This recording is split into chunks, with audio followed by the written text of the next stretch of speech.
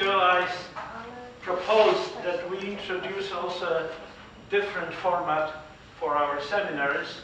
Instead of having seminars where results that have been obtained are announced, I propose that we also allow people to say what are their plans and how do these plans fit into a somewhat more general background. Results which will be obtained. Hopefully. Uh, The title Sooner of or this seminar is project number 55, and that uh, aroused some uh, questions, what does it mean? It's simply an internal numbering of projects at the Center for Theoretical Physics, and the grant that has number 55 is entitled Determination of Geometry from Scattering Data.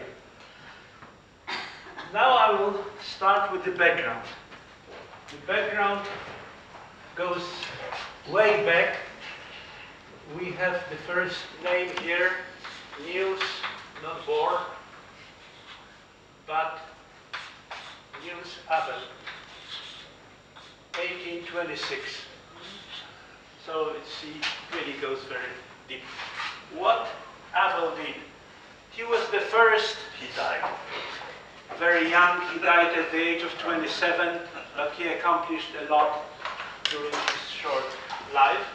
In particular, I will mention one of his contributions. So he's uh, the guy from Abilia.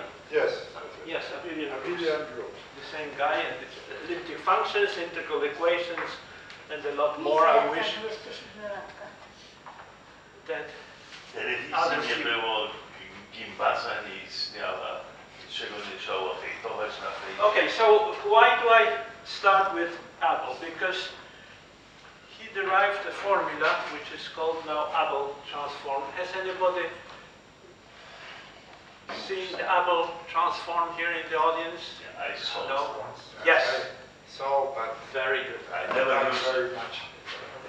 Uh, I- Consciously, I never use it. As you know, transforms have different forms. We have Fourier transform, we have Hankel transform, and there is also a Laplace. Transform. Transform in general means that there is a dual relationship between two functions and that this relationship can be inverted.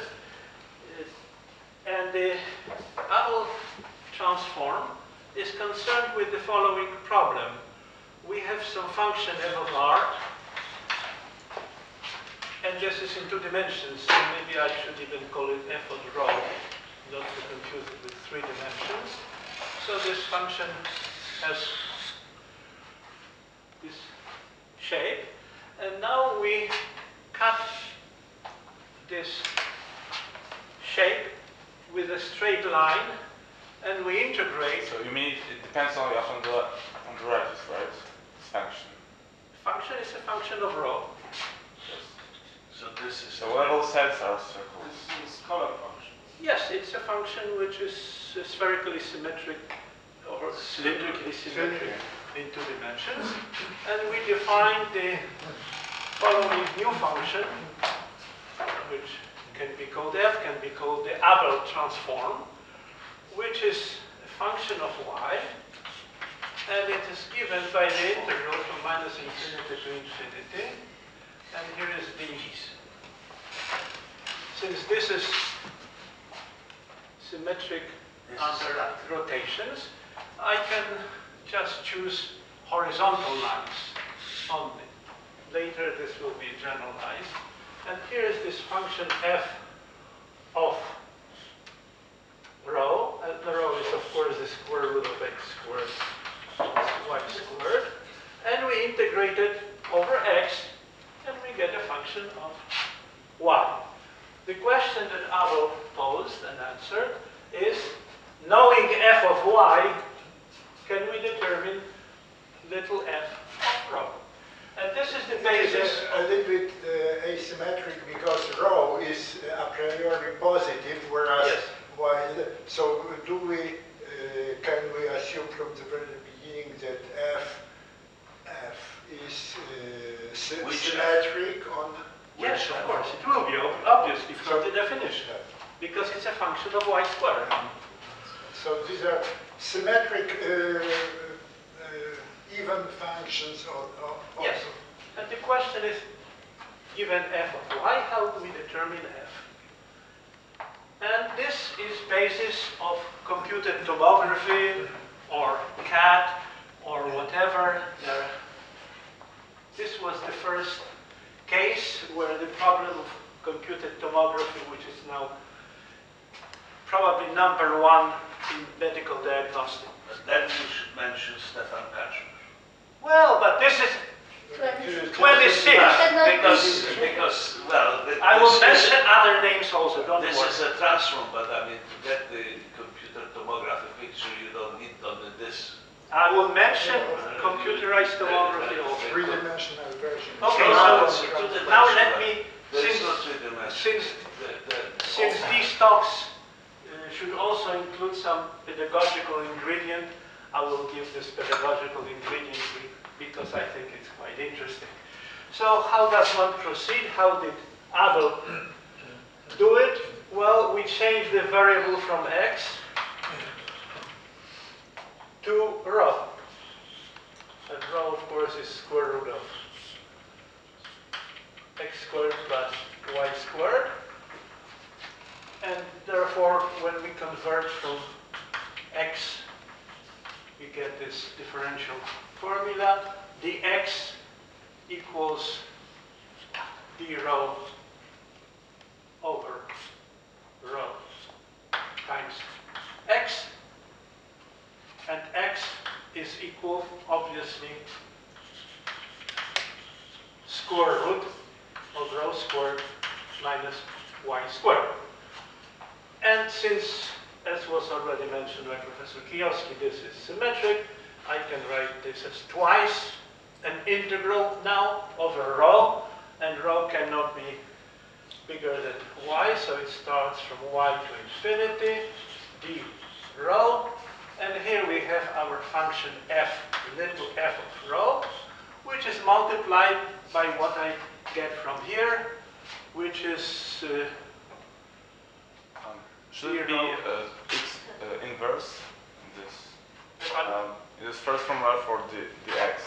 I mean, x should be in.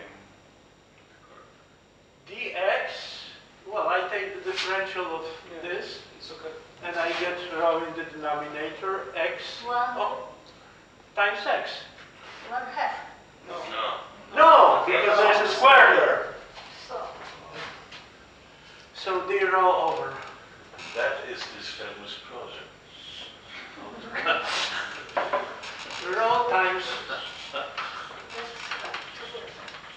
rho squared and y squared. And now eh, I can do the following. This is the formula.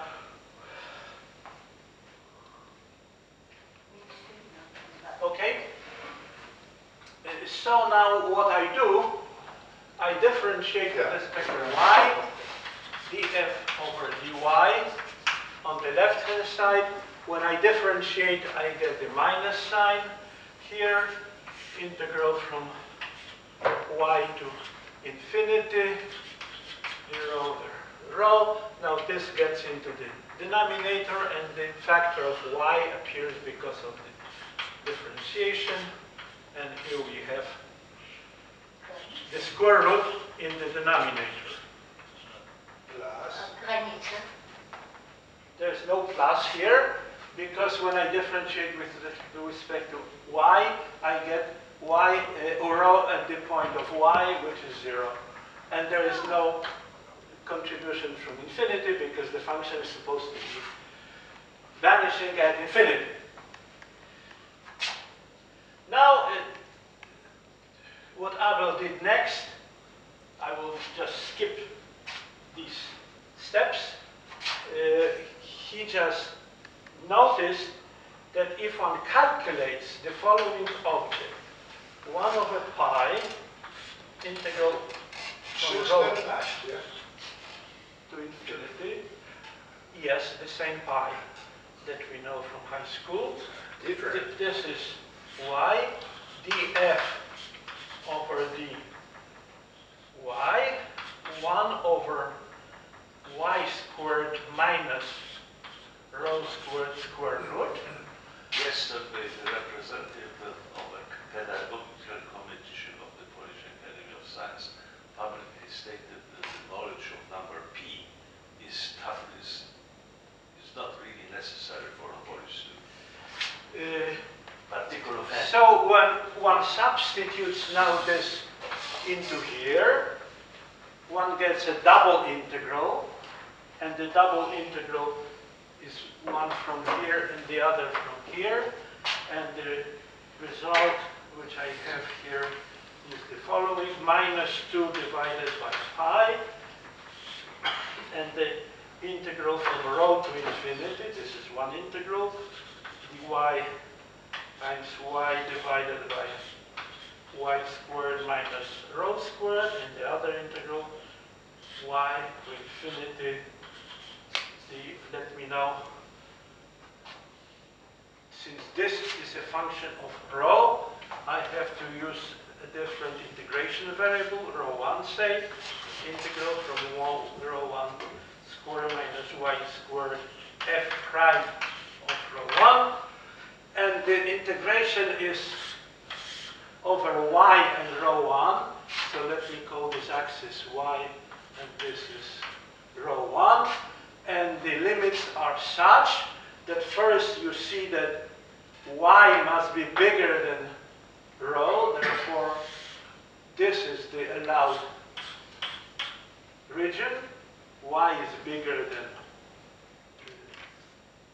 rho and why uh, rho 1 is bigger than, I'm sorry. First, No, no, no, wait, wait, wait. This is rho 1 and not rho. Yeah. Here is rho, so this must be bigger than rho. Yeah. And also rho 1 here must be bigger than y. So this is the allowed, this is the allowed No. No. Eh, no, the other one. No, no. Roman is No. bigger. Yeah. Yes. Here is this region, so the integration over y is restricted. It lies between rho and rho 1. Therefore, this formula can be written in the following form, 2 over pi, and there is first the integral over y from rho to rho 1 of these denominators. So let me write it this way, and people who have seen elliptic functions know that this integral can be expressed in terms of elliptic functions, and this is why Abel was able to do this integral, because he was one of the people who study elliptic functions. And there is the second part here, which involves integration over rho 1 from f prime of rho 1, and the integral is from rho to infinity. Now, this, this is a very... Capital F. No, no, no, f prime. Ah, No, no, no, because inter, yeah, yeah, okay. Uh, okay, so now we have this formula. This would seem to depend on, this is a very neat integral, it should be used as an exercise in calculus 1. Namely, seemingly this integral depends on rho rho 1, but it does not one can first notice that this function is homogeneous, I'm sorry, this factor of y, of course. Homogeneous, this is the order of y squared, and there's y squared in the numerator, therefore it does not depend on the scale. And it turns out that this integral here, no matter what rho and rho 1 are, is equal to pi. Therefore, pi and pi cancel. We have minus 2 here. And this, of course, is a complete derivative. Minus. So this is minus f of rho. And this is the famous Adolf formula. f of rho is equal to minus 1 over pi integral from rho to infinity dy df over dy divided by the square root of y squared minus rho squared. We were able to invert this relationship and therefore if you send an X-ray here and this X-ray is absorbed by the tissue here whose distribution, density distribution is given by this function, we can recover the distribution of the tissue by measuring the intensity here. On The only question that the picture is not it's. Yes, I know. That is why I have now, this was the deep ah, history. Now we move on, and from Abel we move to Radon. Johann Radon, an Austrian mathematician, in 1917 generalized this not only to allow functions which are not symmetric under rotation, but also he generalized this to three dimensions and in general to n dimensions. And the Radon transform wczytamy. Imię Radona Nikodem.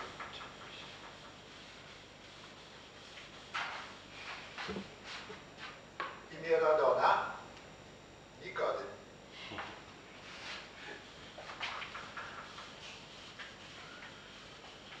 Johann. Bośmy się uczyli. Jedyne miejsce, w którym się Więcej nie w radone. analizie uczymy o Radonie, to jest twierdzenie Radona Nikodyma. No właśnie, czyli imię, imię Nikodyma Radu. No tak. Okay, so what I to jest to słabe. What Radon did in, in two dimensions, in two dimensions we have some function here, and this function is of x and y, and the Radon transform, which I will write in the general form so it is trivially generalized to any It could be in any dimension. Yeah, sure, I will write it in any dimension. No, no symmetry Radon. is now supposed. Radon transform depends on the parameter tau, which is the dimension of length, and the unit vector in any number dimensions that you wish. And in modern terminology, Radon did not know about the delta function, but we all know about the delta function. Therefore, we will use the delta function here, dnx f of r in n dimensions times the delta function of tau minus r dot m. Clearly this depends, since this is integrated over all x or if you wish, depends on the parameter tau and the unit vector and what is the geometric interpretation. We have some distribution here. I will draw it in two dimensions, but the formula, of course, can be used in any number of dimensions. We have the unit vector here, which defines the direction. And then we have the position here. We can move this line, keeping n fixed, and tau is the parameter that controls the position of this line. Therefore, by changing n, we just sweep at a different angle and integrate along such lines. This is when we change n. And when we change tau, we move the position of this line without changing its inclination. So this is the famous radon transform. And of course, this is the whole field of science. There are books that are called the radon transform. This is not the only one. And this is the basis of computed tomography and Alan Cormack and Gottfried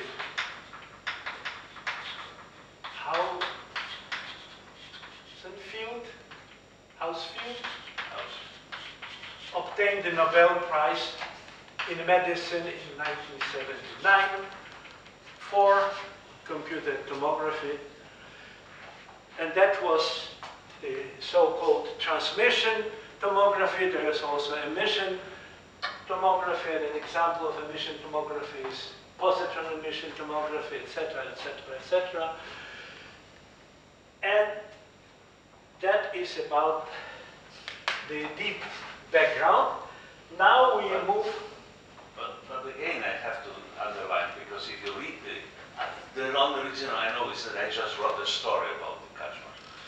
So I know this exactly.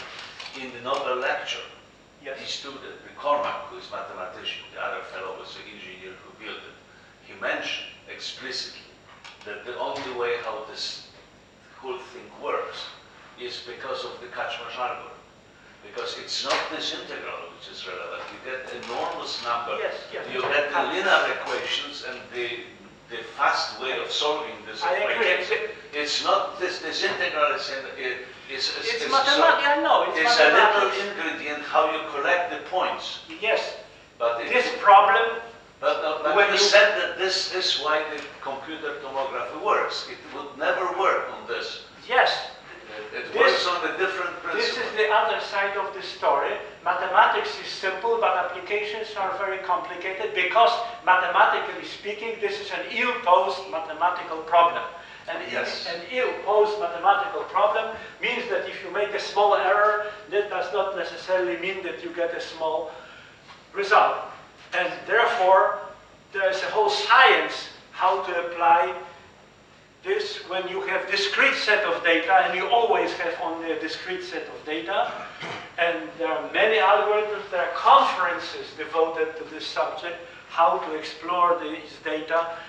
And of course, uh, when you do it in one plane, that is not enough because you want to scan your brain, say, at different planes, and this is the so-called uh, helical uh, tomograph that scans in this way so it covers slice and slice and slice of brain or any other tissue.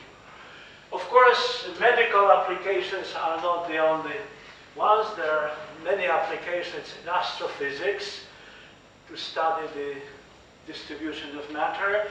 There are many applications in oil industry to study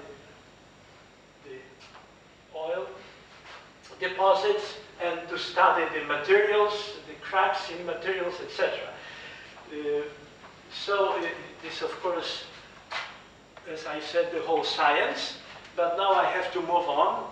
Somewhere there must be room for this subject, which is contained in my proposal to determine geometry. So now we move with geometry, and the person which, who should be mentioned here is Albert E. 1936. He wrote a very short, not even two pages, article for Science, and he's very apologetic. At the beginning of this article, he says, some time ago I made this little calculation, and the, the, he mentions one of the editors of Science, they insisted that I publish it, so here it is, here is my publication.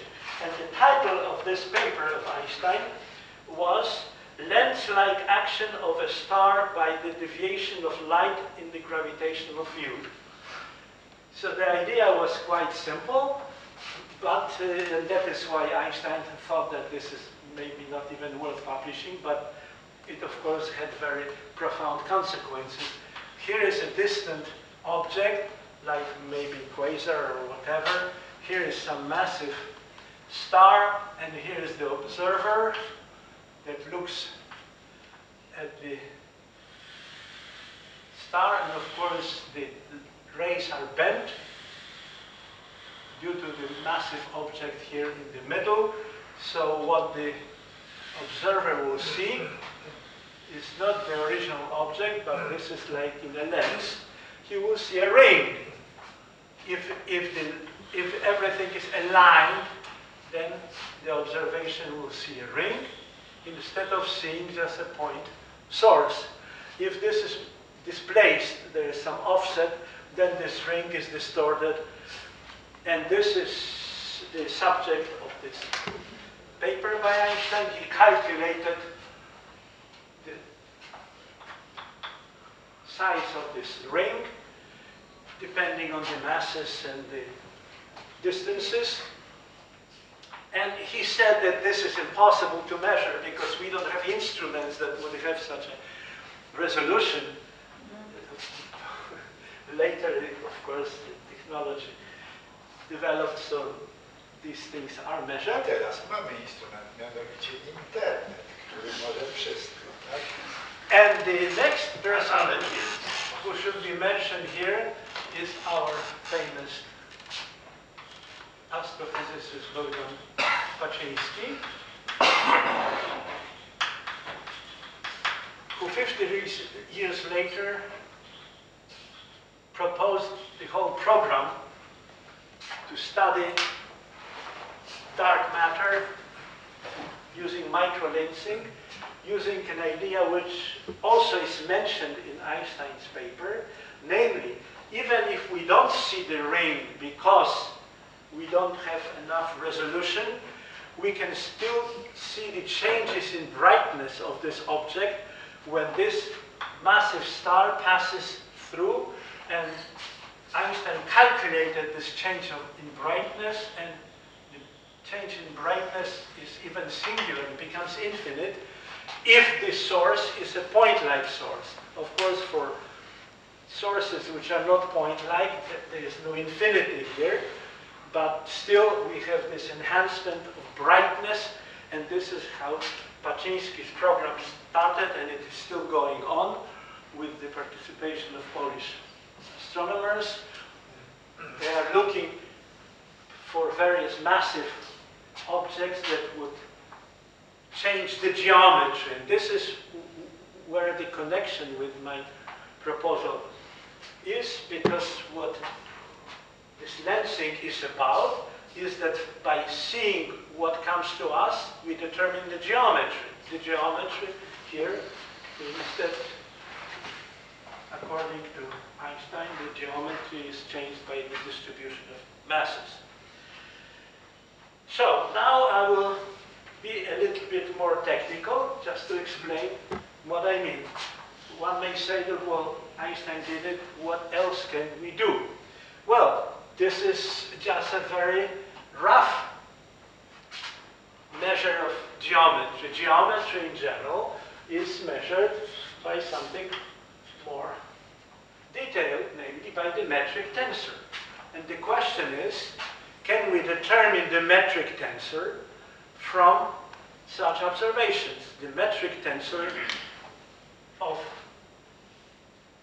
geometry which is between the source and the observer.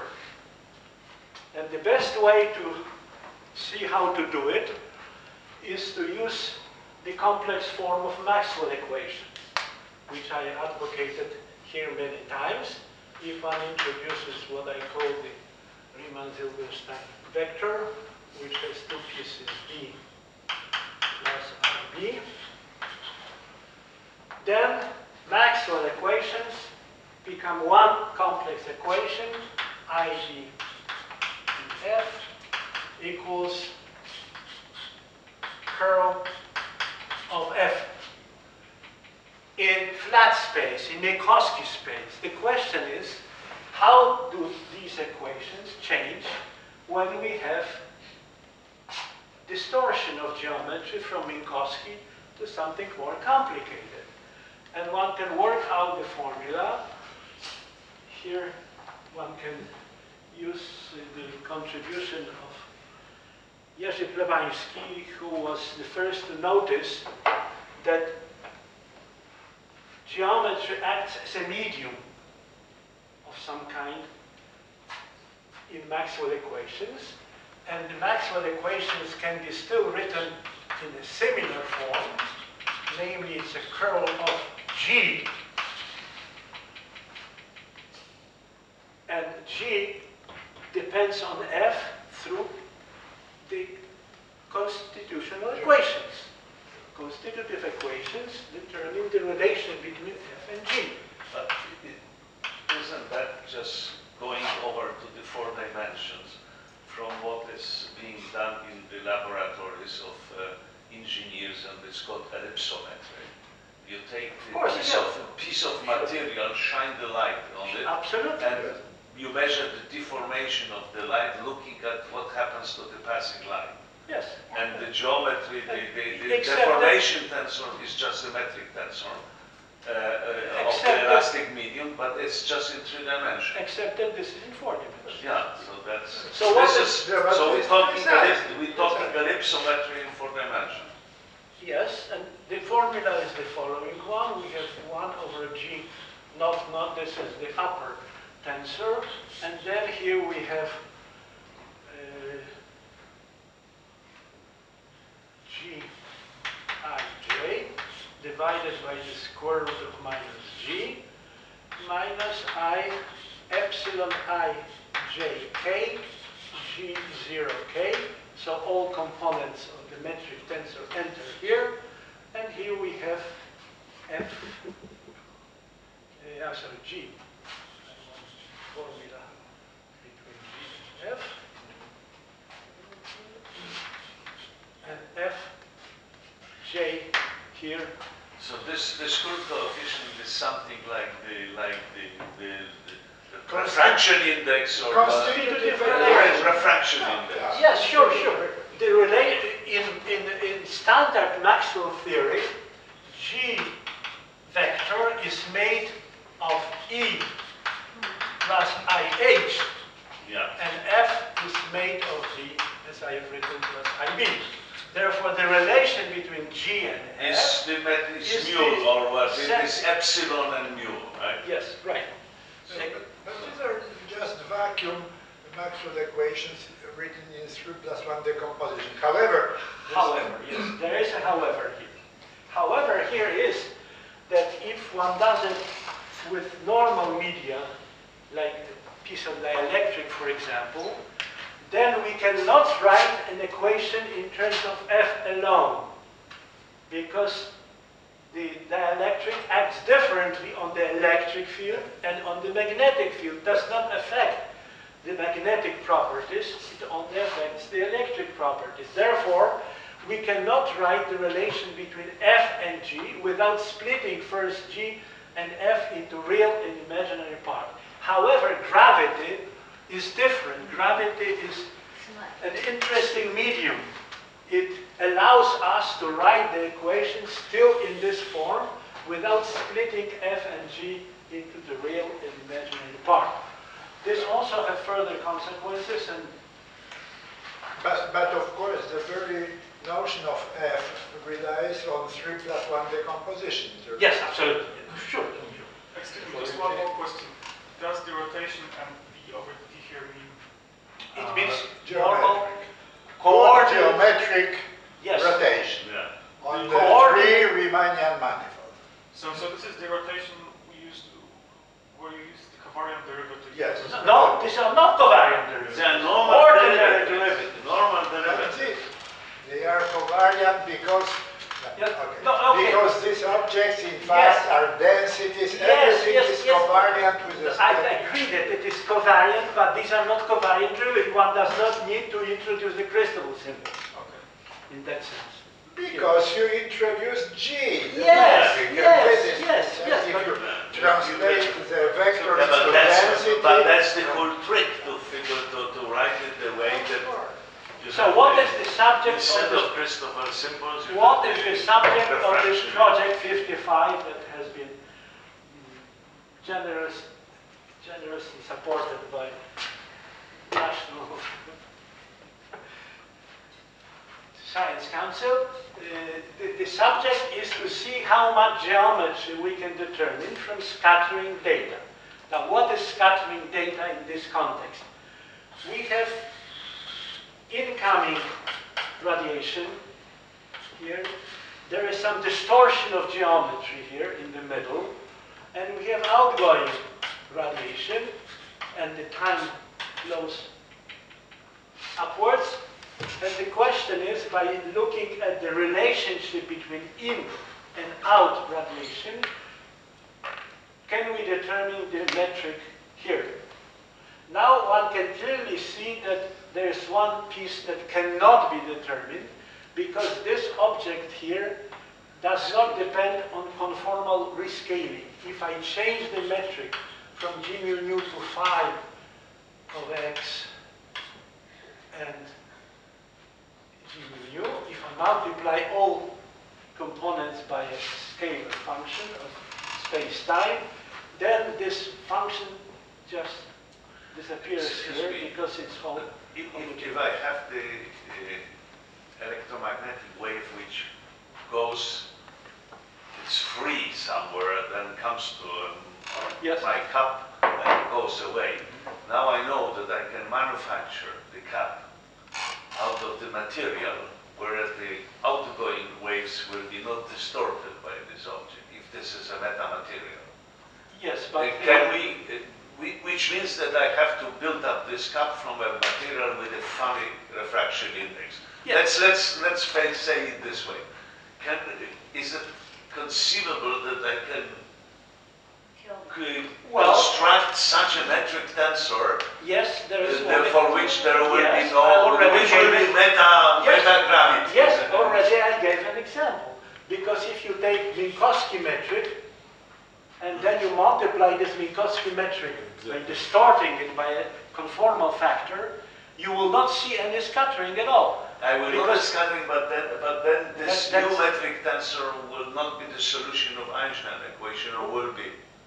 I'm, the, the I mean, there will no, no, uh, no, not, wait, because wait. a metamaterial is something which I can Here- buy in No, no, a store. Here, the metric The is metric given here is a priori. It's, it's Here Yeah, but, but. I'm talking about the physics, I'm trying to understand I'm talking the about the physics. physics too. Yeah, I- yeah, but let me, so let me rephrase my question.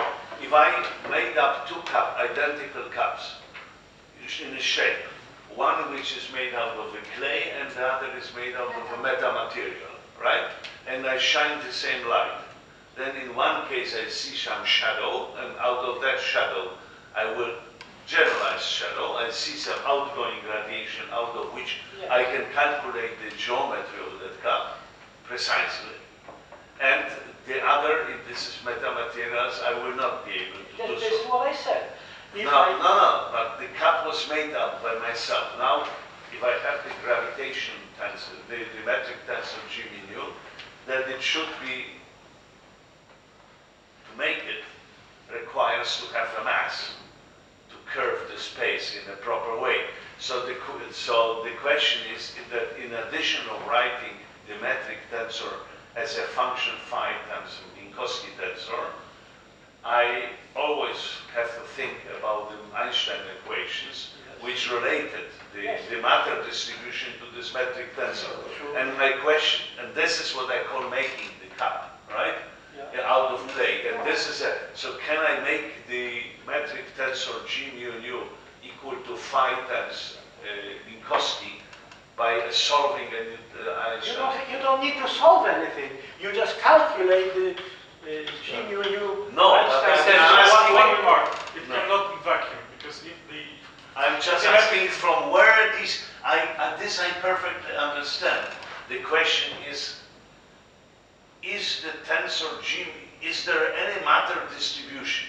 Yes. Real matter Yes. distribution, Uh, which will generate Yes, this is what I was answering. Then I don't, You, then I miss. you take this tensor, yes. you calculate G mu nu, and you say that uh, this is my Ah, this way. momentum tensor. But you cannot, yeah, yeah, but I mean, but it uh, what kind of distribution very. Depending on the function. Yeah, but this is, this, this kind Well, of Does proceeding. anyone know? I, I, I No, can, no, this I is doubt the- that this has not been calculated hundred years ago. No, no, What I can say- I, I, I disagree with this kind of statement. This is like this famous Russian book on exact solutions of the Schrödinger equation, Yes, which was know. that they, they took a wave function which was square Yes. integrable, take a second derivative divided by that to say that this is an exact solution for the funny potential.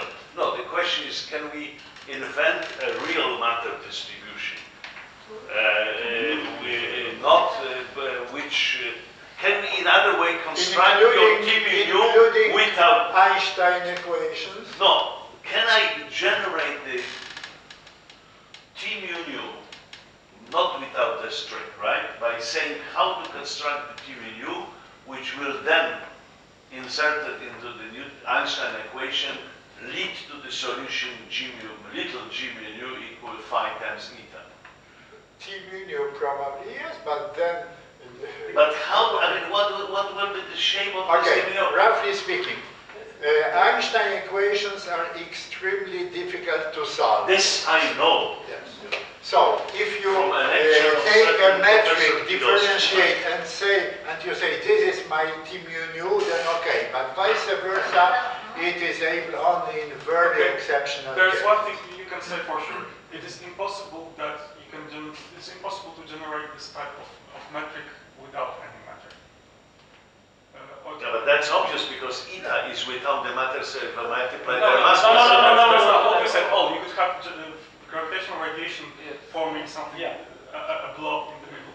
But in fact, in fact, you can prove very easily that But this is not the gravitational radiation is also generated by some mass distribution.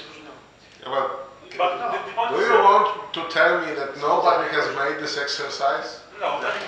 Yeah. And what is the result? That- That's what I'm asking. On, on the right hand side, you've got, you've got the second. Lechu, the this is what I'm asking one. in the less in more polite way. I mean, it's. I mean, Yeah, but because what this- comes out? This because is if interesting. understand On the right hand anything. No, I mean, I'm, s- I understand that this seminar It's is very- about discussing the, the project, Yes, right? absolutely. We are not supposed to get Yeah, I'm, I'm any. even supposed to get some feedback from you, and Yeah, you so will my tell me how question to is, solve my if problem. I, if I, if I now inject the G mu nu of that form five times eta into the Einstein tensor, and I do this abracadabra calculation, then the right hand height I divide it by eight, can I, I divide by eight p and I will get T mu nu. And this is obvious to me that this T mu nu will be only, the, will be completely expressed in terms of phi. Yes. So there will be the, I, I, am not asking you to write it down, but I presume there is a form, and this is what Lech is asking. I can write the T mu as a sum function of phi. And its derivatives. And it's derivative, First and obviously, I second. mean, a- and a, a combination. And of course, uh, we also know that the- this T mu nu is, roughly speaking, dl over dg mu, right? Of some Lagrangian, Yes. right? Therefore, if I have this expression, I expression. would like to have it. No, it is exactly dl over dg mu, isn't it? If I have a Lagrangian for a Which matter, Lagrangian? I don't know which is, I mean, ah, ah, if there, but there This is is, your question. no, no. but the question is that if this is the real physical object, then there is a But we Lagrangian. don't know. No, we don't know. We don't know whether it is. Well, that's what I'm still Lucas, asking. I think uh, what a Lagrangian has to do with it. No, no, no. The No, question is whether it looks a like T a which reasonable DL. distribution. It's uh, some bump or something completely but unrealistic. th- this I suspect important. that this meta-gravity results in uh, energy momentum tensor, which is completely unphysical. Absolutely Yeah, but this is what I'm trying to understand, that I was only giving an example of meta material because you wanted me to ask the question, But is it possible? yeah, but this And I gave- metamaterial Yeah, I is gave it doable in physics. Wait. And the question is whether I can farm, find the matter. Very No. difficult question. Very difficult This is my question. Because what, uh, even is, it is It even difficult to, answer It's the only precise- thing I know is to ask the it it is No, even no. difficult to give precise meaning to this question. Because No. is there any Lagrangian, which means first uh, matter field? No, Which over one? five, over Scale? five. Out only of the phi. The only thing which differs this theory with little g mu equal phi times eta from But- is the field phi. Look, This is not a very. No, no, no, so it does not exist because uh, uh, uh, at least uh, uh, traditional theory where Lagrangian is of, of the first order, of the Oh, first partial order of phi, then T mu nu depends upon the first derivatives of phi. And Here it Yeah, but this curvature is, uh, depends upon second derivatives. Therefore, a priori it doesn't work. But maybe there is some more general framework, but it is even difficult to, That is to not state what I, that is not what. I'm interested in. You wanted me to uh, comment, I just- no, no, you I wanted said to comment on metamaterials. I said there is a very trivial example, and I gave this example, where we have some analogy with metamaterials, but that's all. What I'm interested in is uh, geometry, which is Yeah, but the Produced beauty of by a real matter. was not to say that there are ma- ma- uh, objects with a negative refraction index, because that was known for since many years, but to manufacture them, But uh, to get the real physical system which has this problem. that's not the point. that's It's not the better to point. change Einstein equations to conformally invariant equations like Bach equations, and you are done. And I list the And. Bach, equa- Bach equations are such that they... What, what kind of equations? Bach equations. Bar? Bach, like Jan Sebastian Bach. Johann Yeah, Well, I, I don't know anything about it. Okay, so there is, there is some So tensor kindly, which is forced... kindly, kindly go there is- down to okay, my just, level. just one, one, one, one sentence. There is a tensor which is symmetric second rank tensor, but it is of fourth order in the metric. And if, if, if, if a manifold is conformally to Einstein, this Bach tensor is zero. Uh-huh. Okay.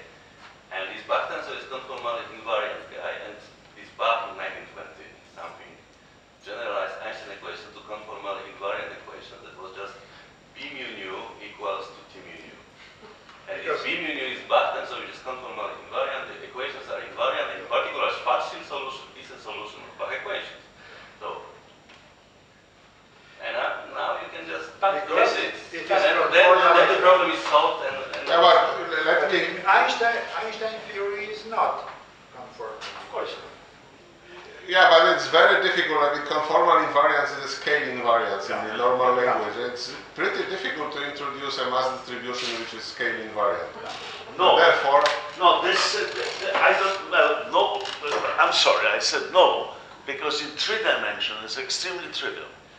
And uh, to construct the matter which is conformally invariant, which is scale invariant, is No. trivial. No. You, you have lots of the, you have the, the even uh, this uh, Kepler, not the Kepler, Could we continue? with the Ptolemaic next bodies which are scale invariant, like icosahedrons. And they, they, they, this is a matter of distribution, I can Could build them I up. continue with the main subject? okay. The main subject is to study some interesting geometry, not the geometry which I was forced to name answering the question, is there a metamaterial gravity in this context? Yes, there is, but this is not an interesting question because, as was stressed here, it is very unusual to have such a metric But which if it will exist, it will not be observable, but it will still contribute to the, Wait, to wait. the energy of the universe. No, it will be observable because there are other observations. For example, instead of photons, you can send massive particles and that will fuel the scale. So this is not something that is But unobservable. not in the optical observation. Not the optical, But because that's, as far as I know, we are not doing the particle beam astronomy. Of course, we are doing all the time. In addition to photon astronomy, we are doing particle astronomy. Cosmic rays are coming to. Yeah, but we don't, uh, What we, mean we we study cosmic rays for other reasons, not for the micro microlensing. We study them, we don't know from where they are coming. In some cases we do. Yes. Yeah, okay, let, let us Okay. continue in the direction of. This, So- this is subretinal. Still We are not knowing from where the cosmic rays Go on. Now now you again are sidetracked from the main topic, subject. The main subject is That's now. the beauty we said- of this seminar, Okay, like this. so uh, we, but It's fine that we have I, a I nice would, seminar. I would like to uh, come to some uh, point which uh, is the essential subject because I was talking about the scattering data. So how does one connect this description with scattering data? Of course, scattering data are most commonly described in terms of the S matrix or the S operator. And how does this come about? Well, we have the outgoing field, let's say F out, and this is connected with the incoming field by the S matrix. And this connection now is what I would say the essence, the, the this gives me the scattering data, and the question is what can I say knowing the connection with gravity of this form about S matrix. The first question, which is very important, which we have to answer, is whether the S matrix does not feel just a trivial change in the metric, namely the change in the metric which is due to coordinate changes.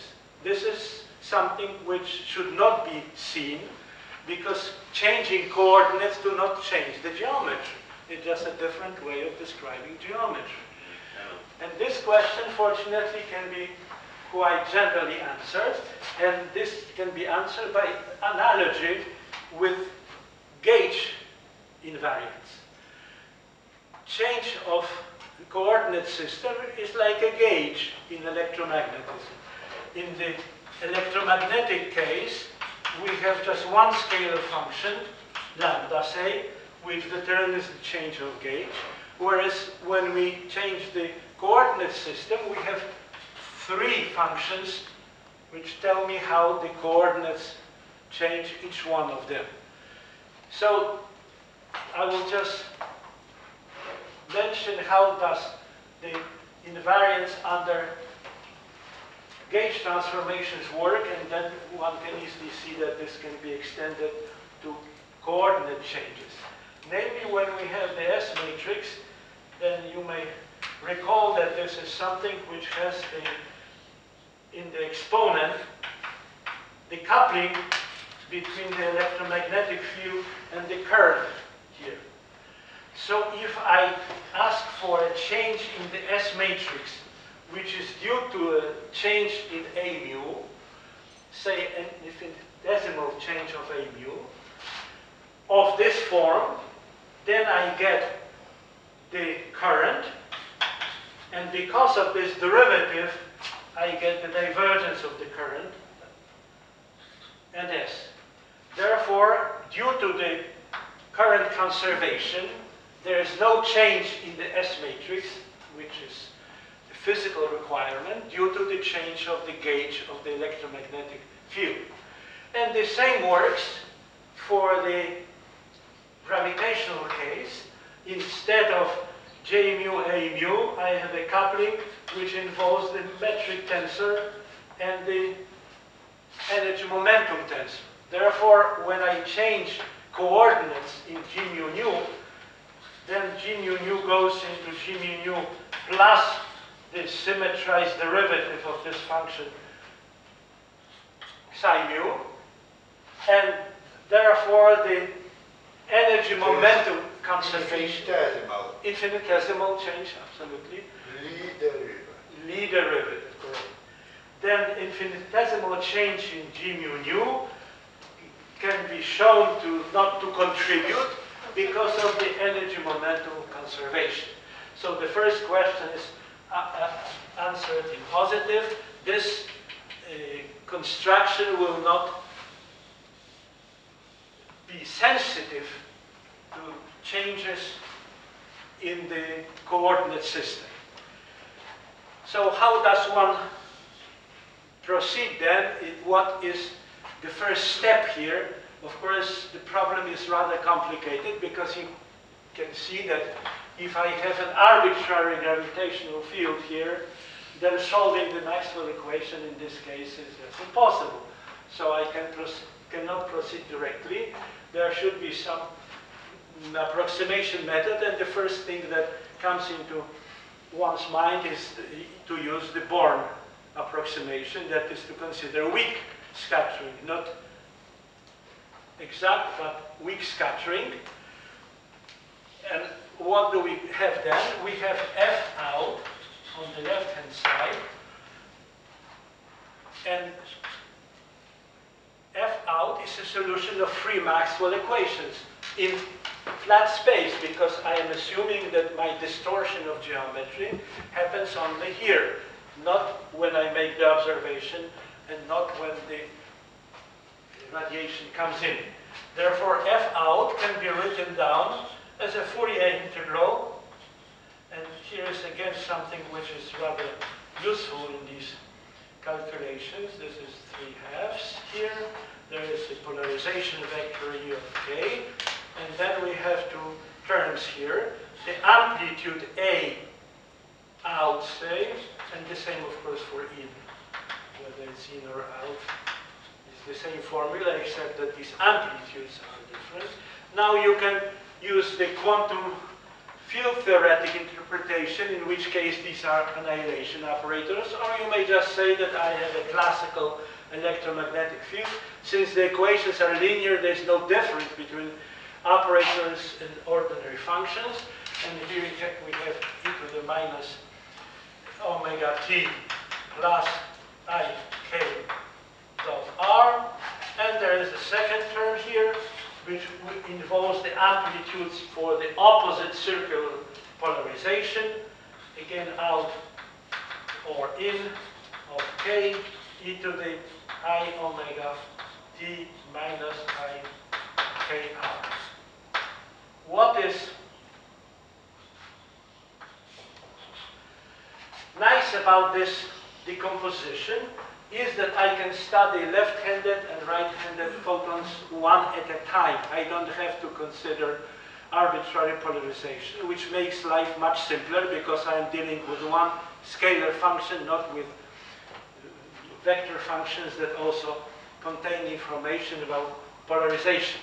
And that is a simplification which tells me that the scattering, th- th- there is no information about polarization because polarization, circular polarization does not change in gravitational field, and that again is due to the, ah, of course, one very important assumption which I failed to mention. Namely, I assume that my geometry is stationary. Therefore, there is no creation of radiation. I only have scattering. If this is non-stationary, if there is time dependence in the tensor, then I produce radiation and it becomes really much more complicated. I'm studying now geometry which is stationary. It does not have, to be static. Of course, it can have this piece here, uh, but it must be stationary. And what does it mean that it's stationary? It means that there will be no mixing between this part and this part, because this has opposite signs in frequency, and stationary metric cannot flip the frequency. It's like the energy conservation, of course. Stationary metric. Splitting into positive and negative frequencies is absolute.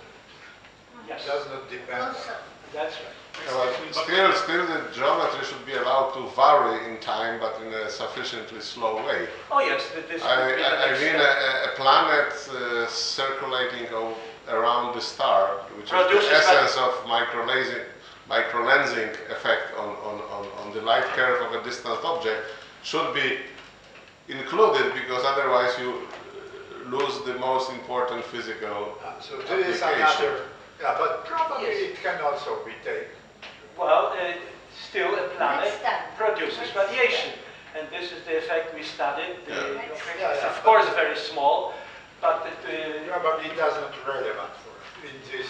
no, it's not relevant in this context. One can assume that omega is a very slowly varying function Yeah. of time also.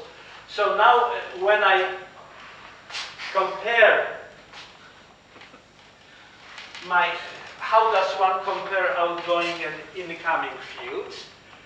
To make this comparison, since we don't know the S matrix, the best way to proceed is just to solve the Maxwell equation. because the Maxwell equation, I'm slowly getting to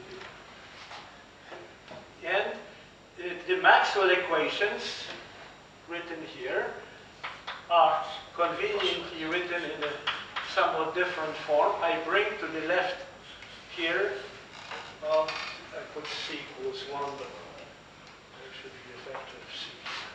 If one wants to, C, C is equal to one. c is equal 1. I split my formula here into two parts, the free part, so to speak, which is the one that is valid in that space, and some contribution which is different, which But this, this means that you take the linear uh, approximation of the field, and I believe this is very, yes, yeah, sure, sure, sure, exactly. yeah. you may even uh, assume that uh, the Einstein equations are fulfilled in linear approximation. Yes, uh, so there will be some matrix here which remains here after subtracting the free part times f. So this is my equation now here uh, where I split, there's no approximation yet, just a split of this formula into two parts, the free part so to speak and the interaction part. And now when I solve this, by using the appropriate green function, I obtain the formula for f of rt state, which is equal to f incoming of rt, which is the free solution of Maxwell equations, plus the contribution which contains this object and the appropriate green function, which is nothing else but the retarded green function here, well known for the wave equation, and the integration is over some x prime, and here we have this matrix gamma times f, and of course one would have to solve this integral equation, which again is in general impossible. However, when I do the Born approximation, that means that I replace f by incoming field, and I only study the linear contribution. Then from here, I can obtain the outgoing field if I take this t to plus infinity, and then this delta function, which is a solution of the inhomogeneous equation, becomes the solution of the homogeneous equation, the famous Pauli-Jordan function, d of x is equal to i d3k divided by 2 pi cube 2k, and there are two terms, e to the minus i omega t plus i k r minus complex conjugate. This is the solution of Free-Danaher equation. And I have now the formula that connects out and in. This is scattering data. If I substitute some incoming field, I can write down immediately the outgoing field, and it will depend on Fourier transforms of this metric distribution. So now I have a formula as a first step, and I can now substitute and invert the Fourier transformation, but of course that would not be enough yet to say that I've completed the project. This is just a rough first step to show that something for weak scattering can be done, which leads to an explicit formula that gives me the uh, Jako os- osoba, która panu przeszkadzała, muszę czuję się w obowiązku powiedzieć, że nam czas powoli się skończy. yes, Nawet and- wyraźnie. yes, exactly, and that is all I wanted to say. That this, of course, is just the first step, and one should do something better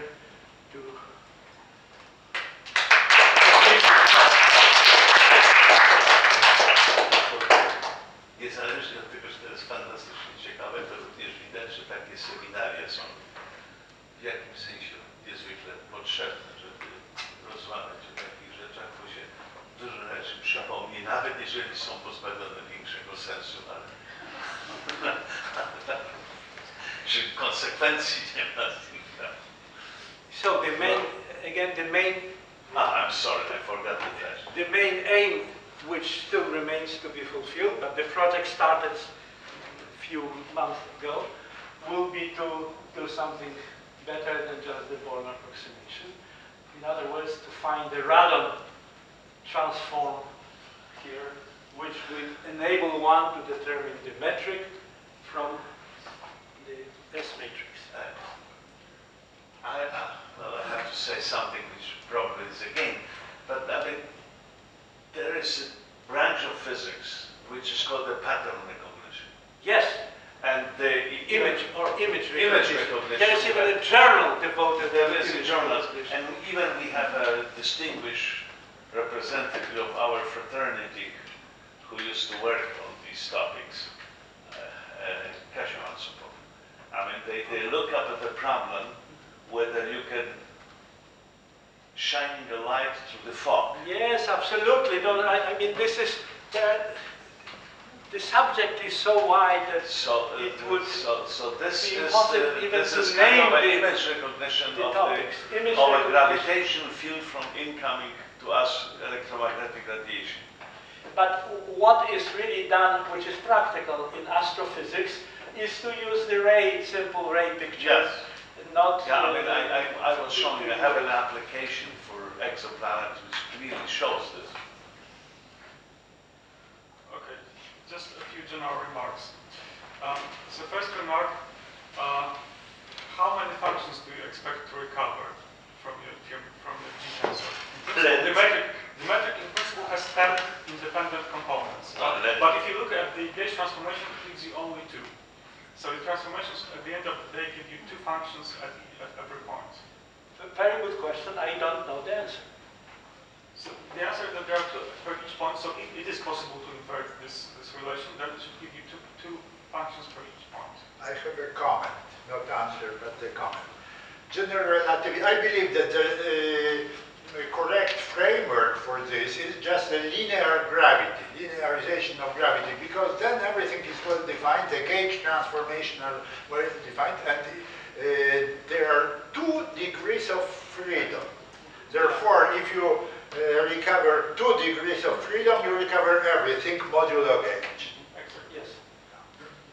I agree. However, that is. Uh, uh, This- this is however, how I would not agree. Elasticity because. I this would not agree that linear gravity, because linear gravity is roughly the Born approximation. It is not very Okay. profound. Can I have another remark? Absolutely. So the way you, you write it down is depends very much on the choice of the coordinates. Yes. So perhaps it would be better to write this everything in a completely coordinate invariant manner just to get rid of things which obscure the picture. Yes, but because it is gauge invariant, then I am sure there is a way to rewrite it in a gauge invariant way. it would be a very good Of idea course, because of this way you, perhaps you could, if you could write the equation you have written down in a coordinate I independent I don't, should be I don't know how to do. At this We, we might discuss it. I agree that that would be very nice to have a completely geometric. So I, I'd be glad to talk about that later. And one final remark, if anybody does not know how the radon transform work, you can think uh, about a simple problem, how to reduce the general problem of radon transform to the needs, to the Abel transform. There's a very simple trick here, and it's so ingenious that you should first think about yourself, how, how to reduce the general problem of radon transform to the Abel transform. And if you t- fail to figure out, just check how the radon transform works. This- Add so- one, one dimension and assume a function which No, does not depend upon the, the other dimension. The radon transform uh, can be very easily understood in uh, terms of Fourier transformation. That, that's one possibility, but there is another. You can reduce the problem of radon transform to the Abel transform by, should I say that? Okay. You take a given point and, and you you tell up- us sometime on the seminar. Yes. Okay, because we are now having, we are uh, of time and, Okay. and as you said, simple, that will require at least half an hour.